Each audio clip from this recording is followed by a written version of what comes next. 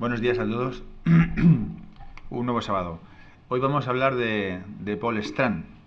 Y bueno, en primer lugar, desde luego, pues me congratulo de que al menos alguno eh, con el que ya hemos tenido ocasión de hablar, incluso intercambiar algún material, pues eh, poco a poco vamos haciendo que, en definitiva, vayamos un poco conociendo más y despertando el interés por la fotografía clásica y por la historia de la fotografía. Eh, he tenido la oportunidad también de estar ayer en el FNAC y en, el, en la Casa del Libro, y por lo menos no queda ningún libro de Cámara Work. No sé si hemos tenido algo que ver en eso, somos los responsables, pero me alegro. Eso significa que vamos conociendo también algo más y se va despertando el interés. No sé si por mi parte o no, pero bueno, es una buena noticia. Bueno, vamos a hablar hoy de Paul Strand. Eh, y además dedicado a Carmen, a Carmencita, que está por aquí, estaba dedicada a ella hoy la sesión de lo que llamo la triple S o la, el triángulo superlativo. La semana pasada hablamos de Stieglitz, hoy toca Strand y la semana que viene Edward Steichen. Es decir, los tres empiezan por S.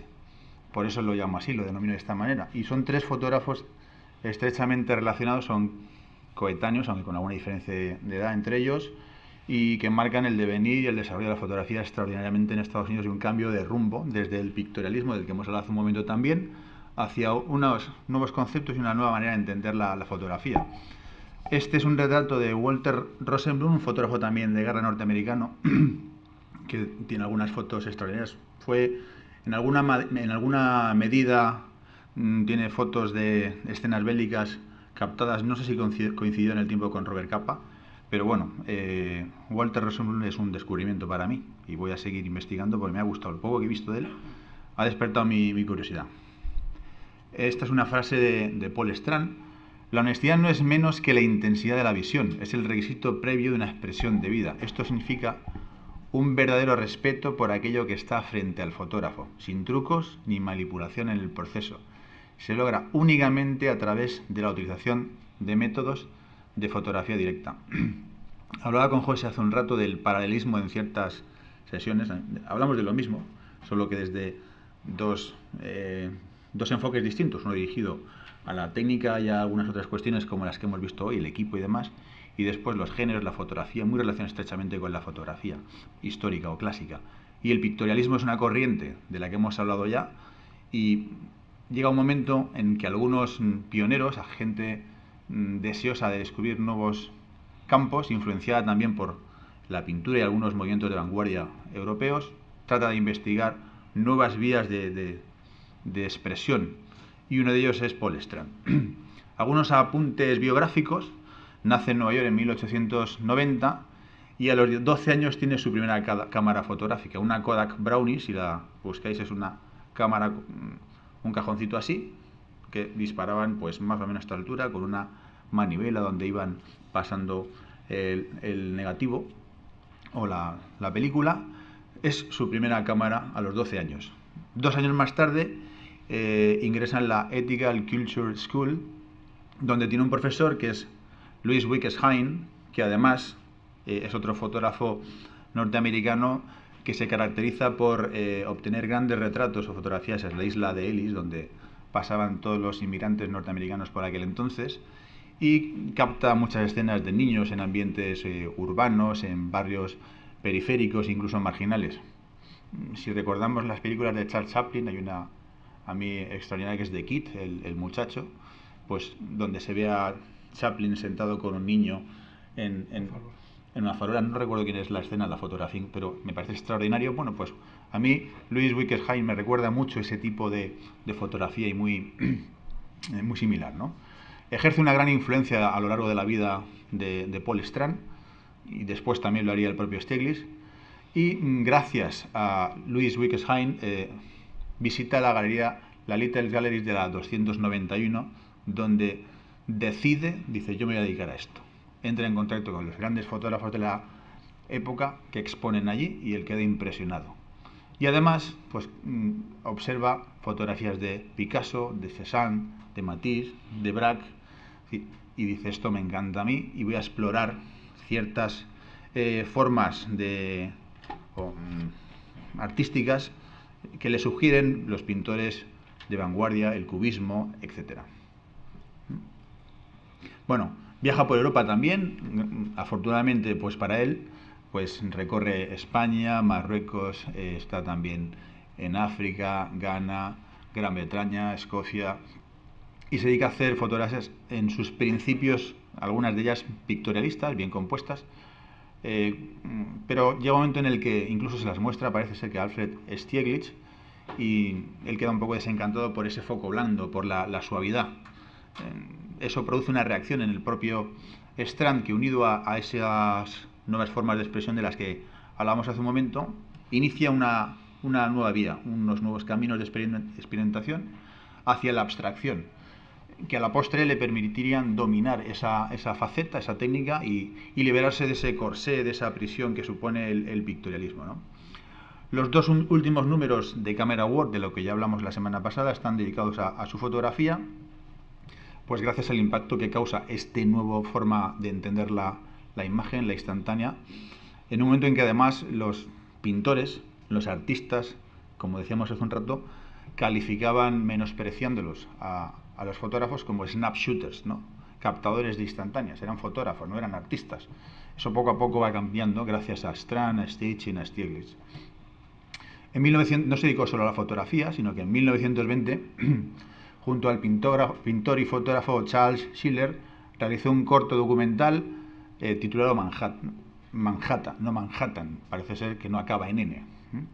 Y bueno, realiza varios eh, intentos cinematográficos, algunas de sus eh, excursiones en, este campo del cine, pues también forman parte de alguna manera de, la cinematografía clásica. Este corto tiene una duración de nueve minutos y bueno, es, experimental, es un poco extraño, es un corto mudo y además está ilustrado con algunas, eh, algunos textos, creo que del poeta Walt Whitman. ¿eh? Bien. pasa también por su vida en la Segunda Guerra Mundial, participa en el rodaje de algunos, rodajes eh, cinematográficos, como hemos dicho, incluso en México. Eh, en México realiza una de sus series más conocidas, de hecho Paul Strand en México es un libro que recientemente en la editorial La Fábrica pues lo tenéis a la venta, está pues, en los centros comerciales. Y participa también en la fundación de la League, un, un movimiento fotográfico que reúne, que aúna algunos de los fotógrafos eh, pues más famosos de la historia, Berenice Abbott, de la que hablamos también cuando tocamos el tema de Ajet, Margaret White, Eugene Smith, Helen Levitt, Nancy Newman, Richard Avedon, Wiggy, Robert Frank, Ansel Adams, Edward Weston, etc. Eh, en 1900, bueno, además eh, se da la circunstancia de que Strand pues, era una persona muy abierta, progresista, muy preocupada por las causas sociales, quizás influida por su infancia y por el contacto con, con Luis Hain, eh, en un momento en el que además tiene amigos comunistas, amigos socialistas, él no llega a estar afiliado al Partido Comunista Norteamericano y algunos de vosotros recordaréis seguramente la caza de brujas y las listas negras que se inicia en los Estados Unidos y obliga a grandes talentos a emigrar. Pues él se tiene que marchar por esto, por sus amistades, por sus ideas, por su pensamiento y tiene que marcharse. ¿A dónde? A Francia. ¿eh? En 1950 se ve obligado a marchar a Francia un poco antes había estado en un festival de cine en Checoslovaquia y vivió su exilio en Francia hasta que falleció 27 años en el extranjero. ¿no? En 1967 gana el premio David Octavius Hill, un premio prestigioso que otorga la Sociedad Alemana de Fotografía, en el que entre otros figuran Joan Foncuberta, que lo ganó en 1988. Yo esto lo he descubierto recientemente. Bueno, y en 1971 el MoMA, el Museo de Arte Moderno de Nueva York organizó una gran retrospectiva eh, sobre su obra. Podríamos hablar algunas cosas más de, su vida y de su obra, que fue apasionante, eh, pero vamos a ver también algunas imágenes, obviamente. Este es un retrato, o unos retratos, que realiza de Alfred Stieglitz en 1929. ¿Qué diferencia? Fijamos, esta cámara que creo es una Graflex, como hacían las fotos, y tenemos que sentirnos afortunados por no tener que hablar con estos pesados equipos. Estos dos retratos son de los últimos años de vida de, de Stiglitz en el lago George, en, en, Nueva York, en las afueras, y Stiglitz aquí está fotografiando nubes. Hay algunas imágenes de ellas un tanto más abstractas y más que, demuestran también la evolución hacia la fotografía directa, incluso su interés por otras eh, líneas de investigación en torno a la fotografía. la fotografía directa, la straight photography. Eh, Stielis, como dijimos, quedaba impresionado por esas primeras aventuras o imágenes abstractas que le enseña Paul Strand y dice su obra es brutalmente directa, está desprovista de ardides, de artimañas y de ismos, sin apellidos. Son la expresión rotunda del hoy. ¿Y qué es la fotografía directa? Bueno, pues responde a una necesidad o una visión o el aburrimiento que le produce quizás incluso a algunos fotógrafos el, pictorialismo, la manipulación de la imagen, ese gusto por el retoque eh, del que ya hemos hablado en distintas ocasiones. Recrean lo visible de una forma objetiva, representan la, la realidad, rechazan el pictorialismo, reivindican la fotografía como una vía de expresión artística sin necesidad de valerse de la pintura y con la utilización de, sus propias técnicas y leyes compositivas. El término parece que fue acuñado por un crítico, eh, Sadakichi Harman, en un ensayo publicado en Camera Work en 1904, en el que instaba o alientaba a, los fotógrafos a to, strike, to work straight, a trabajar directamente. Eh, además, esta visión de vanguardia, anticipada al futuro o al modernismo de Strand, también condiciona a un joven fotógrafo que es Ansel Easton Adams, conocido por muchos de vosotros, uno de los creadores del grupo F64 y del sistema de zonas, del que hablaremos en alguna sesión más adelante. Estas son algunas escenas de, o capturas de pantalla del corto de, de Manhattan de 1920, en el que investiga las líneas, la, la abstracción que le cautiva de un Nueva York que está cambiando, de la, eh, en 1911 recorre Europa, la vieja Europa, y cuando llega a Nueva York ve algo totalmente distinto. La foto de la izquierda, perdón, o la captura de la izquierda, es una instantánea del propio documental y que después el propio eh, Strand tiene una fotografía, esto es cerca de Wall Street, exactamente igual, con el mismo plano, con el mismo ángulo. Bueno, su obra en Camera Work como decíamos, en los dos últimos del magazine de Camera World están dedicados a él y las particularmente las obras de Paul Cézanne, del pintor francés, le causan un, gran impacto. Entre ellas, bueno, la vamos a ver a continuación. está, está el retrato. Y el propio Camera Work incluye un ensayo sobre, o un artículo, sobre las ideas y la filosofía o el pensamiento de, Paul Strand. Dice, a diferencia de las otras artes verdaderamente antifotográficas, la objetividad es la verdadera esencia de la fotografía, su contribución y al mismo tiempo su límite. Y como ocurre con la mayoría de trabajadores de otros medios que ignoran sus cualidades inherentes y respectivos significados, otro tanto ocurre con los fotógrafos, con la posible excepción de dos o tres al no haber tenido conciencia del significado fotográfico. Como vemos aquí, marca eh, muy, de una forma muy nítida y muy clara su, su pensamiento.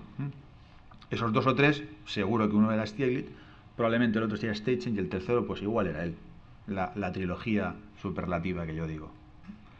Bueno, esta es una obra que le impacta profundamente, un retrato de anciana rezando con el rosario de Paul Cézanne de 1886, una imagen que le impacta. Le influyen mucho estas obras de Cézanne y además algunas, algunos retratos de David, Octavius Hill y Robert Adamson, dos fotógrafos, pintores y eh, ilustradores eh, escoceses en la época del calotipo, en torno a 1840, 1860, que ejercen una gran influencia también en, su visión sobre el retrato, algo que le fascina. Eh, sobre Cézanne decía además, dice, el problema del paisaje es la unidad del todo. Es decir, la dificultad de incluir el primer plano, el plano medio, la distancia y el cielo Dice, todo esto tiene que estar relacionado, lo que no siempre se logra. Dice, Cézanne es un maestro y consigue unir la profundidad y eh, obtiene esa percepción del espacio tridimensional. Bueno, estas son unas notas de última hora. Es algo que le cautiva. Yo veremos a, veremos a continuación también unas eh, expresiones paisajísticas en Europa verdaderamente sorprendentes de un libro que tengo que buscar, pero lo vemos más adelante. Mujer con mandolina de Picasso en 1913. Esta imagen está publicada en Camera Work en una edición especial en 1913, eh, en un momento en el que estos pintores eran considerados como locos, como estúpidos, es decir, algunos pensaban, estos no saben lo que hacen. Y él, estas abstracciones, le causan un gran impacto. Es decir, muchos pintores menospreciaban en aquel entonces este tipo de, pintura, lo que ocurría con la fotografía que hacía Strand o algunos eh, pioneros en aquel entonces, donde la corriente pictorialista todavía era la predominante. Un retrato de Paul Strand de, de 1917 y vamos a ver algunas fotografías poco a poco.